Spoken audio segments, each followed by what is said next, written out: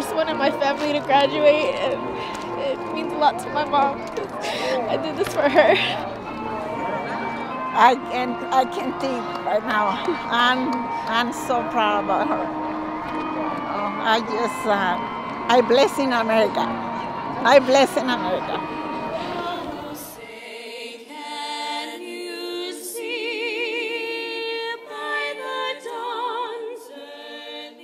You know, as a young mother, I am proud of him, very proud.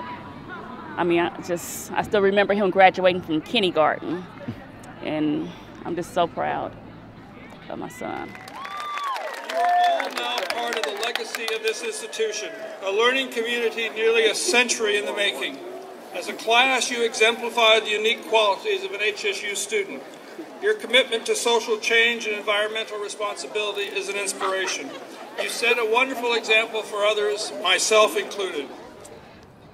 I was born and raised in Los Angeles, and I honestly I wanted a change, and I wanted fresh air, and that was probably one of the main reasons uh, to come to HSU. I came to HSU because it's totally different than Los Angeles. Smaller, you know, more green trees and everything. This is like totally different. Got adapted to it. You know, hiking. I ain't like cats. Nature's nature is not my thing. You know, but I fell in love with it. You know.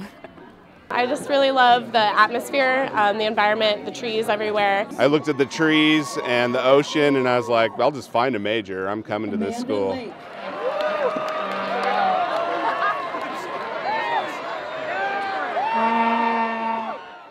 Yeah, and for new parents, know that you know it's just it's it's just a great great place to come. She has a lot of food allergies, and they've been very accommodating. Super and accommodating. It's been really amazing up here. I recommend the school to anyone. It has everything, you know, good teachers, it's a good environment, and uh, it's just one of the best in the in the nation. It's just been the most amazing experience of my life.